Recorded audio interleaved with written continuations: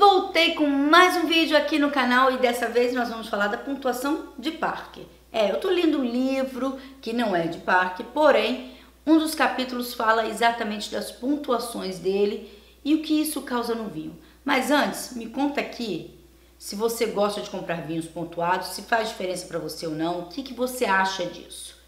Quem é seguidor antigo sabe a minha opinião a respeito de pontuações. Mas hoje talvez eu vá te surpreender.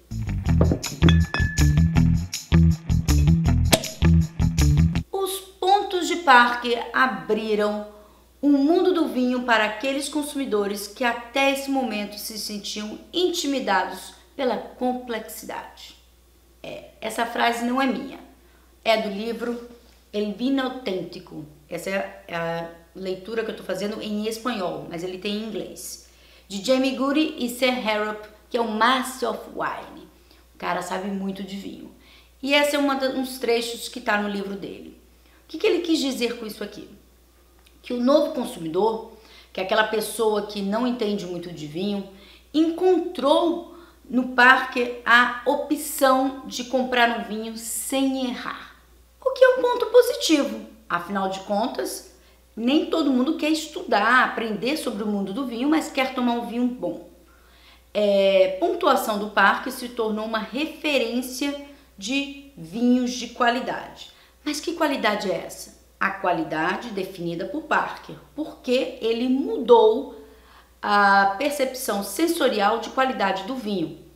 Ele estipulou o que é um vinho bom, né? E aqui se exclui Bordeaux, se excluem, vinhos da Borgonha, se excluem vinhos é, de regiões com teu alcoólico mais baixo, vinhos brancos, vinhos rosés nunca analisados, né? E deixa exclusivamente para percepção dele, que ele criou um novo jeito sensorial de analisar a qualidade de um vinho. Então seria correto dizer que ele está certo e o resto do mundo está errado? A resposta é não. Porém, ele também não deixa de estar certo que ele analisa vinhos com certo padrão de qualidade e que ele fez com que as vinícolas também fossem em busca de melhor qualidade dos seus vinhos. E aqui a gente fala principalmente dos vinhos do Novo Mundo, porque ele compara literalmente um Bordeaux com um vinho Cabernet de Napa. E são incomparáveis, porque Bordeaux tem a sua tipicidade, tem o seu terroir, tem o seu jeito único de fazer vinho e que muitas vezes não é Cabernet 100%, às vezes hum, vamos dizer que é mais Merlot do que Cabernet.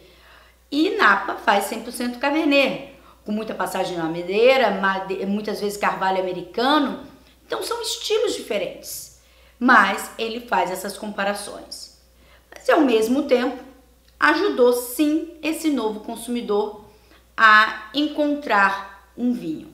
E se você ainda não está convencido disso, eu vou te dar um trecho do que disse Nicholas, que é o diretor da Baring Bros, uma das maiores empresas de vinhos, tanto nos Estados Unidos como em Hong Kong. Ele diz: Graças aos pontos, as pessoas não precisam entender mais de vinho, interpretar as notas de degustação. Basta olhar a pontuação. É essencial quando se trata de pessoas que não sabem exatamente o que querem beber. Então, são esses pontos, são os selos né, que nós vemos nos rótulos das garrafas que facilitam esse consumidor. Alguns trechos do livro, do livro também fala assim: Muitos consumidores encontraram aos pontos de parque um bom atalho na hora de compra.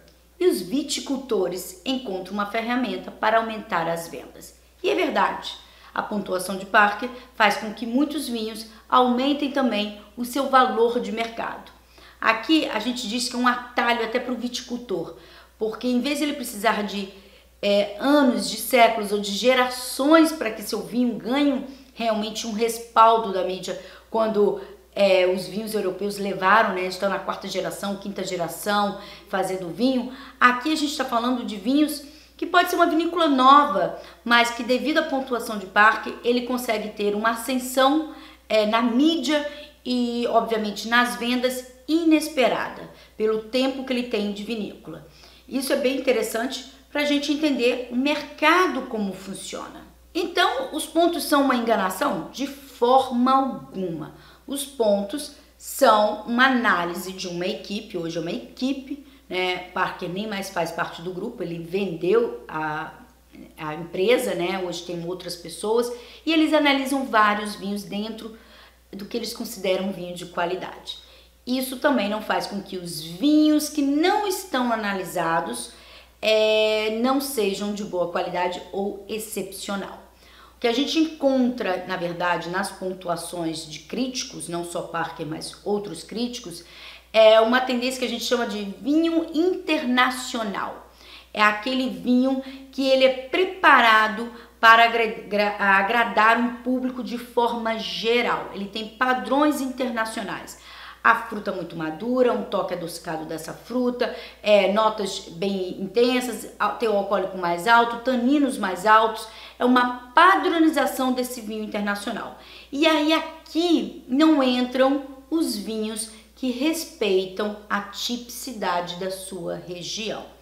E nisso se excluem várias regiões. O Vale do Loire, por exemplo, dificilmente tem um vinho acima de 12,5 de álcool. E aí não entra né, nessa classificação de qualidade instituída por esses profissionais. E por que, que as vinícolas fazem esse vinho internacional? Só para agradar um crítico? Na verdade, não é para agradar o crítico, mas sim um padrão internacional de consumo, aquilo que o consumidor está querendo, ou seja, uma demanda do mercado. Ele faz o vinho que vai vender, certeiro, né? E aí, como eu disse, esses países que não estão é, nesse perfil que seguem regras mais rígidas pela sua denominação de origem ou porque tem um terroir que não vai produzir esse vinho que esperam comercialmente, né, que a gente chama de vinho internacional, não vão ser incluídos em nenhuma análise, muito menos no paladar desse consumidor que é, não tem ainda um conhecimento técnico para distinguir ou analisar vinhos. Na verdade, ele não quer. Muitos consumidores de poder aquisitivo alto, foi a frase que eu coloquei até outros dias no meu stories.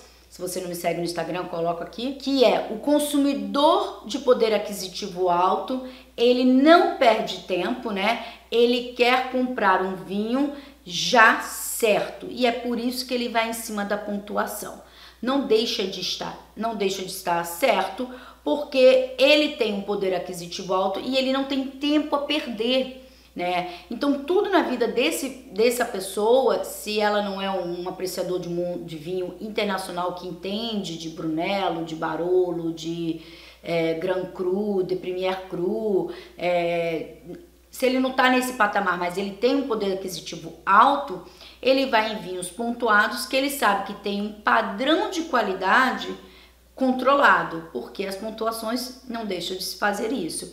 Então, em tudo na vida dele, né? Ele não compra uma roupa numa loja que a costura pode estar torta, ele já vai na loja certeira, mesmo que ele pague mais por aquilo. Ele não compra um carro qualquer, ele compra um carro melhor porque ele sabe que aquele carro vai dar o conforto que ele espera. E o vinho é a mesma coisa, ele faz a compra certa, confiando que aquela pessoa que tem um nome, um renome, se tornaram marcas, né, esses grandes críticos, vou colocar aqui, ó, tu, tu, tu, tu, a listinha de alguns, se tornaram pessoas referências é, em prêmios, né, de vinhos, assim como alguns é, guias também, e, obviamente, encontro a segurança que esses vinhos vão respeitar um padrão de qualidade. Porém, lembrando que esse padrão de qualidade, dependendo do crítico, muitas vezes não respeita a tipicidade daquele vinho, a origem daquele vinho, porque eu não posso comparar um Cabernet de Napa com um Cabernet ou um Bordeaux, que em Bordeaux você não vai ter nem a uva normalmente no rótulo, né, não se coloca, e você não sabe nem se é Cabernet e muitas vezes é Merlot, que é a maior uva produzida na região. Então, dando exemplo aqui, mas poderia ser qualquer outro vinho, né? Então, a gente tem que entender isso. E eu finalizo falando que é por isso que muitos profissionais como eu não gostam de vinhos pontuados. Não é que a gente, peraí, vou me consertar aqui. Não é que não gostamos de vinhos pontuados. Nós não gostamos que as pessoas seguem apenas por vinhos pontuados, porque elas estão deixando de apreciar grandes vinhos que não são pontuados porque não agradam os críticos, não estão naquele patamar que eles esperam, ou porque simplesmente eles nem colocam seu vinho para análise em pontuações, porque não é o perfil deles.